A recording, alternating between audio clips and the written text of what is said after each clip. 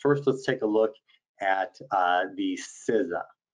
And so uh, of those 145,000 members uh, of ISACA, about half of them have the CISA certification, Certified Information Systems Auditor. Uh, and as you can see, it is the gold standard for audit, control, and assurance. Uh, many different organizations require it in order to be able to deliver certain types of capabilities and reports, uh, in, and in addition to moving up to higher levels uh, within those organizations. One of the great things about being a nonprofit is that we play nice with all the organizations in the industry, so we continue to update uh, with information from all of the top organizations uh, in the field so that uh, it's always current. The CISA, for example, was just updated in 2019. We see over on the right-hand side, these are topics that are interesting to you, uh, information systems auditing, governance and management of IT, information systems acquisition, development, and implementation, information systems operations and business resilience, and protection of information assets with a major emphasis on data uh, as, as is appropriate in the world that we live in today.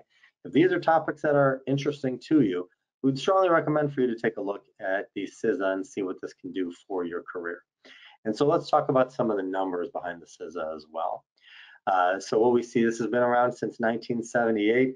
Uh, there's currently uh, been 151,000 of these cert holders um, over the course of the existence of this certification. Uh, we see what the average salary looks like, so a terrific number. And you're here because you're interested in learning about the top paid um, certifications in the industry. Certainly qualifies for the CISA. Um, we also see that 22% potential pay boost for the typical person that acquires this certification. Uh, we also see some great numbers. 52% say their expertise is more sought within their organization as a result. 45% have implemented efficiencies in their organization because what, of what they learned going through the process of getting their CISA. Um, it is designed for entry to mid-level IT professionals and internal auditors who audit for information security compliance or engage in risk and compliance. I would say that even though it does call out internal auditors here, I would say consultants make up a big part of the audience of the CISA as well um, and you can see listing out some other capabilities. I'd like to pause here for a moment. If you do have questions about the CISA, please put them in the chat towards Jeff, uh, or you can put it out to everybody. I'm not reading these things in the moment, so Jeff, I'll turn to you. Do we have any questions about the CISA from our audience yet? Um, yeah, we have a couple questions coming in, and I, yeah, encourage everyone to to, answer, to ask any any question that you have. Put them in the the question panel there. Uh, but the first question we have is uh, someone said you mentioned that some organizations require a CISA in order to sign off on specific reports. Uh, can you let us know like what types of reports and which organizations you're referring to uh, about that? Yeah, great, great question. Uh, so let's talk about the organizations first. Um, so ISACA is highly tied in with the big four accounting firms, right? So that means PwC, Deloitte, EY, uh, and KPMG, uh, as well as the what we call the mid-tier 15, uh, the next uh, terrific auditing organizations uh, that we work with um, regularly and, and who continue to have this symbiotic IP exchange with ISACA to make sure that these are all cutting edge.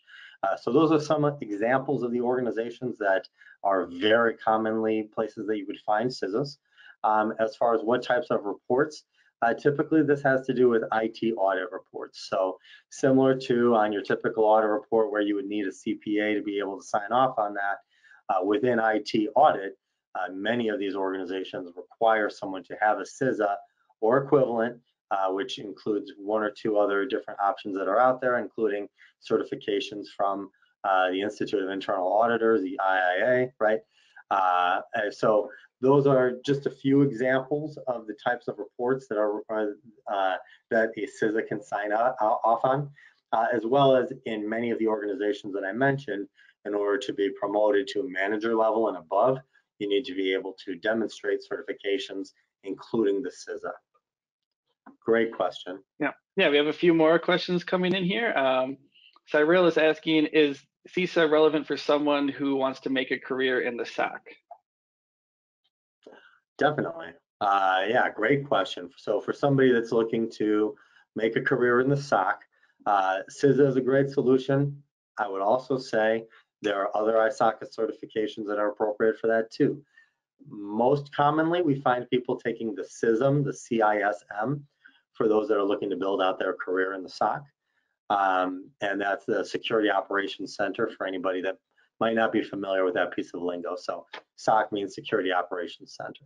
So as you might take the, uh, you, you do need the ability to deliver on both audit and security in order to have an effective SOC. And so both of those certifications are a great way into that part of the organization uh, to build out your career there. And we certainly know companies are investing heavily in their SOC today. Yeah, we have a couple of questions related to kind of career tracks. I'll, I'll combine them together. Uh, one person's asking if there's any suggestions um, for certifications in business continuity and any ways in which a business continuity professional can enter into the information systems auditing profile. And then another question, uh, someone has 10 years in banking experience and is looking to change their career track and wondering which certification is, you know, kind of the best sort of easiest transition from from banking into into this type of role. Yeah, so those are great questions. And I would definitely take a look back at the previous asset around uh, which certification is right for you uh, as the answer to both of those questions, right? And so I do want to just call out, you know, CISA is all about the A, audit. If you're excited about audit, CISA is great for you. If audit is not something that you're interested in, and maybe you're more interested in risk or governance, right? Um, and, and, business continuity, which is very closely related, related to risk and security and governance, then it's a question of which of those facets is the best fit for what you're looking for. And indeed, we do find many people, like you said, a 10-year career, they're looking to make a change. That was me too. You know, if you saw the certification that I have, uh, I have what's called a CFA. It has nothing to do with IT. Uh, but here I am in IT because organizations have been putting more of their resources towards their IT focus than they were towards what I was doing previously, right? So it's a great idea. Um, it's something that we see all the time, and these certifications can help you to maintain your same level that you're at in your career while also changing on onto a different track into a place where organizations are assigning a lot of their resources. For each person personally, I would recommend take a look at those operative words and then figure out which one of those is most appropriate for you as you look through the content that we have here on the page.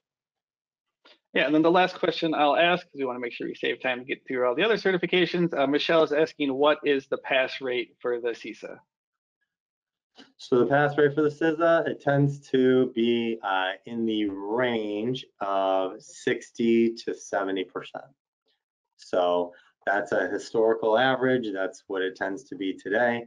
Um, it is graded on a curve as well.